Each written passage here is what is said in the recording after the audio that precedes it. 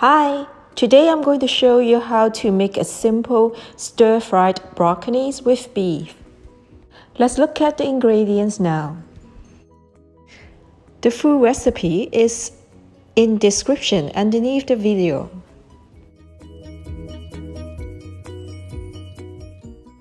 Wash and cut the beef into slices. Then prepare the marinades.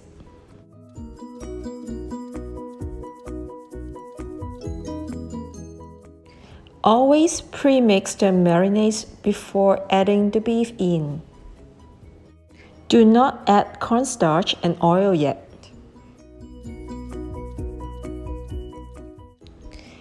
Mix the marinades well. Wipe dry the beef as much as possible. Mix the marinades with beef now. Mix well so the marinade is fully absorbed into the beef, then add cornstarch now. Mix well. Add oil at last and mix it well.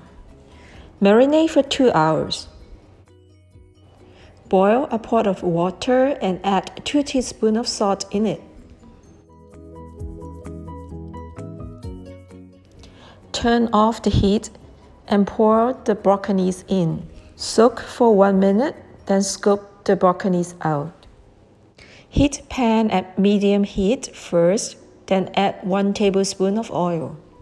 Add ginger and garlic and saute. Add broccolis in, saute, then add the wine.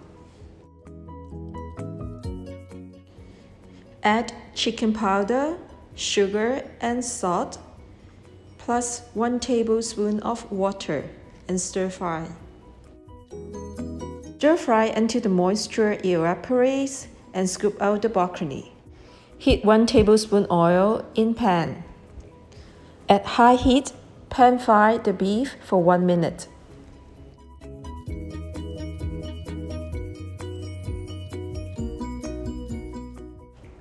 Then flip the beef and pan fry the other side for 1 minute.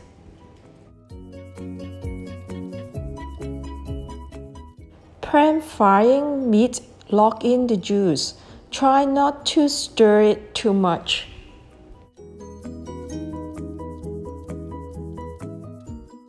Turn to medium heat and add 1 tablespoon of water. Mix half teaspoon cornstarch with 1 teaspoon water and add it into the beef. Stir fry briefly and scoop out the beef and put it on top of the broccolis. This easy and yummy stir-fried broccoli with beef is ready to serve. Enjoy!